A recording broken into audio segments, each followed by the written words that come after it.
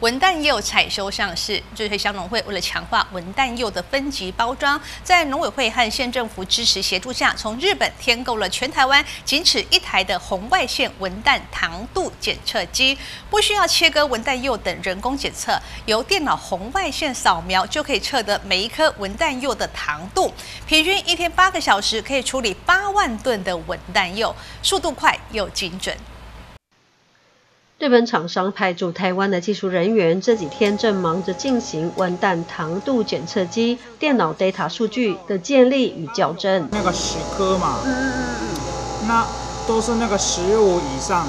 所以他们都排除到那个最前的盒子。另外，技术人员也以人工检测方式检测文丹柚的糖度作为对照组，提供修正电脑 data，让检测结果更加精准。而目前全台仅此一台的红外线文旦糖度检测机，渴望在明后天就能上阵，一天以八小时的工时，可以轻松检测八万吨的文丹柚数量，快速又精准。这一台设备呢，它是利用红外线，然后去照色。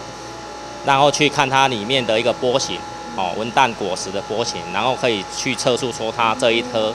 果实文旦里面的诶糖度在介于哪一个糖度，然后就就由这边设诶机械这机械端这边来做一个设定，那就可以依照所需要的诶糖度来做分级，像现在这样子，它在行走，那测到了糖度之后，它就会